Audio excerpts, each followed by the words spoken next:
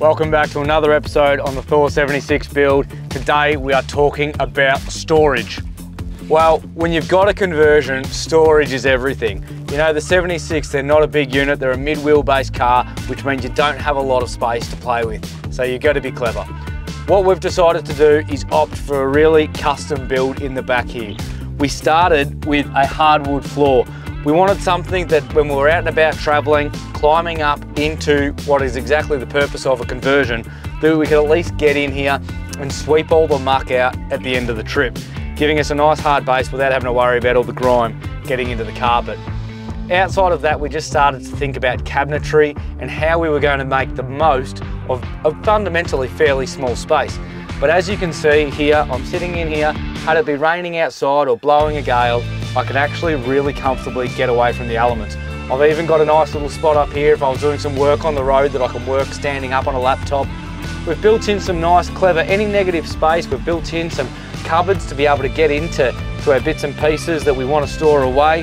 Behind here we've stored all of our 12 volt system, our batteries and, and all of the likes. Here we've built in a little bit of a seat, but it's also got storage directly in there as well. We've also mounted in these railings across the ground so we can tie things down when we have fewer bits and pieces and we don't want things bouncing around.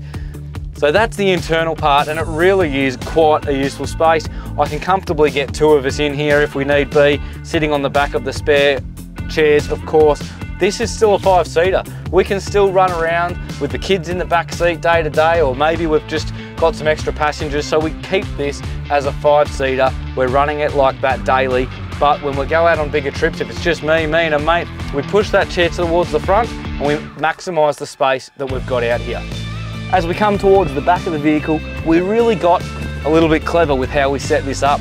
We wanted to make sure that we had obviously a good fridge. A 43 litre fridge was really ample for what we needed. Perfect front opening fridge allowed us to obviously get that into here. We've put in the Ironman oven directly above there. These are a great unit to be able to chuck in some pies as you're on your way, maybe doing a roast as you're driving through to get to camp and have all your food warm and ready to go. We've got the Alucab MOLLE plates on both sides of the vehicle. Uh, these are fantastic. You can just tie and, and, attach anything that you'd like on here. I put a lot of just nicks and knacks recovery bits and pieces. My airtight deflator is always in there. And then we've got these Ironman bags, which are like a door card replacement bag. Fantastic little zipper pockets at the back here, so we can store our stuff in there. I've got fuel canisters for our gas stove, got some cereals and fire lighters, other bits and pieces all tied away nicely in there.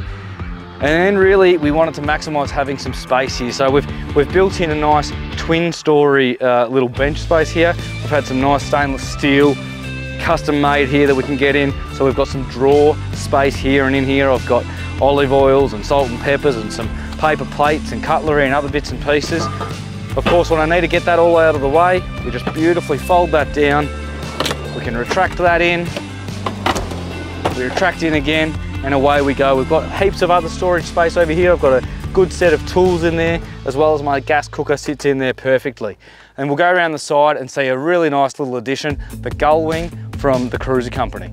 So knowing that we had that whole cabinetry behind there, there was a lot of negative space here and otherwise would have just been one of the Cruiser's standard pop-out windows. So what we opted for here is a gull wing. We looked around the market to see what was available and I had a chat with the boys from the Cruiser Company and this is what they came back with. And it's a fantastic bit of kit, really nicely folded to wrap around the edges, gas strut opening, uh, bolt-in frame, what we've done here is we've, again, we've just made a bit of a custom nook here. We've got some bottle holders there, some glasses. We keep in our little Ironman cutlery roll. This is kind of like our little bar and kitchen setup to complement what we've got going on out the back there. So realistically, for a mid wheelbase 76 series, we're really not lacking when it comes to space. We're really able to get absolutely all the essentials for our triple white. Absolutely love it. This was all done by the Van Fit Outs, Melbourne Van Fit Outs down there in, in Dandenong South, not too far away from our head offices. Uh, all custom made and designed for our purpose. Fantastic having those kinds of fit out companies around and available. Again, if you've got any questions on this part of the build, please hit us in the comments below. We'd be more than happy to come back with any answers. And stay tuned for further episodes where we're going to get into the conversion, the awning, and all the Alucab bits and pieces.